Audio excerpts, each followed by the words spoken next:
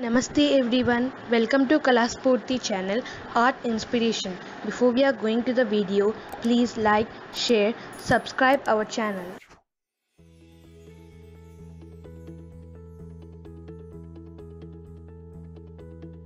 కారం కోసం ఒక ఫోర్ హండ్రెడ్ గ్రామ్స్ పసుపు కొమ్ముల్ని దంచి ఎండలో ఎండబెట్టేసుకోవాలి వన్ కేజీ ఎండుమిరపకాయలు వీటిని కూడా క్రిస్పీగా అయ్యేంత మటుకు ఎండలో చక్కగా ఎండబెట్టేసుకోవాలి తర్వాత స్టవ్ మీద ప్యాన్ పెట్టుకొని హండ్రెడ్ గ్రామ్స్ ఆవాలు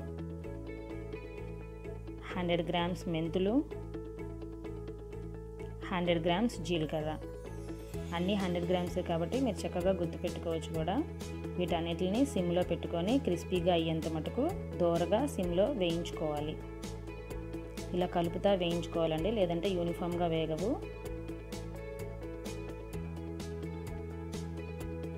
అన్నిటిని ఇలా వేయించుకున్న తర్వాత వీటిని ఒక వేగిపోయినవి వీటిని ఒక ప్లేట్లోకి తీసుకుందాం. అదే ప్యాన్లో ఒక టూ హండ్రెడ్ గ్రామ్స్ ధనియాలని వేయాలని వేసి వీటిని కూడా సిమ్లో అలాగే దోరగా వేయించుకోవాలి. చూసారు కదండి మన ధనియాలు వేగిపోయినాయి. ఇప్పుడు వీటిని కూడా ఇందాక పెట్టుకున్న జీలకర్ర ఆవాలు మెంతులు మిశ్రమంలో కలిపేసుకున్నాం ఇంకా మన పసుపు కొమ్ములు ఇంకా వన్ కేజీ ఎండుమిర్చి. వీటన్నిటిని మనం మిల్లుకి పంపించి మెత్తగా గ్రైండ్ చేయించుకోవాలి. చూసారు కదండి నేను మిల్లుకి పంపించి మెత్తగా గ్రైండ్ చేయించాను. ముందుగా చెప్పినట్టు ఎండుమిరపకాయలు పసుపు కొమ్ములు మెంతులు ఆవాలు జీలకర్ర ధనియాలు వీటన్నిటిని మనం మిల్లుకి పంపించి ఇలా మెత్తగా గ్రైండ్ చేయించుకోవాలి. చూసారు కదా ఇలా మెత్తగా ఆడించారో ఇలా మెత్తగా ఆడించుకోవాలి. చేయి కూడా ఎల్లోగా ఉంది చూసారా?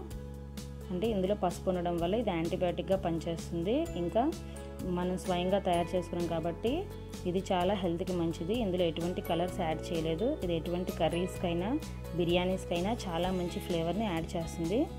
మీరందరూ దీన్ని తప్పకుండా ట్రై చేయండి. Thank you